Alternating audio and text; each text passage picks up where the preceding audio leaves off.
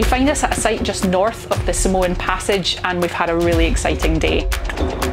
Hey, so we just got Oma back, so let's have a look and see what's on the footage. Right, let's see what you've got. Oh, there we go.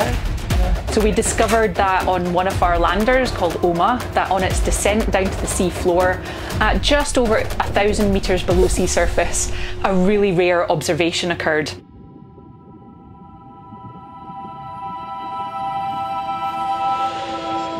A deep sea hooked squid called Taningia danae interacted with the lander, it actually latched on to the camera, which is just unbelievable. It's such a rare observation that when I came across it, I actually managed to keep it a secret from the rest of the crew. And I made a little short clip to show them at our pre dive meeting because I knew that they would be just as excited about it as I was. And it was worth it because we got that little shock and gasp of surprise around the room.